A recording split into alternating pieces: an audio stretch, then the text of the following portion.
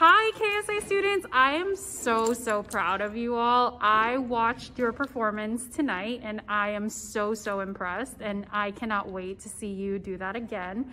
Um, my favorite part was the last one and I was couldn't help myself, but I was singing along. Um, it was the, the one with the lava. Such a great, great show. So really proud of you all. Congratulations. Well done. Bye. Are we going?